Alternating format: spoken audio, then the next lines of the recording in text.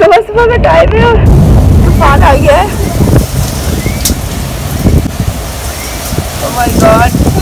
अस्सलाम welcome back to my YouTube channel तो आज मैं आई हुई हूँ गुलबर्ग ग्रीन्स और अनमता के पास।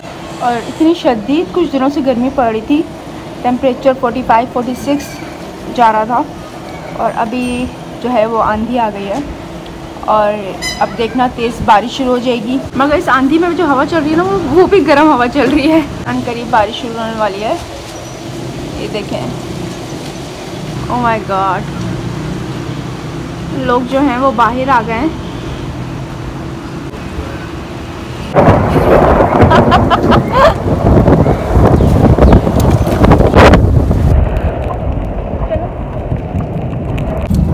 फाइनली जो है वो बारिश शुरू हो गई है।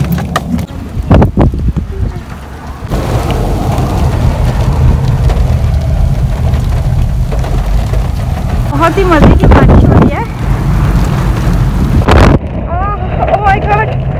Oh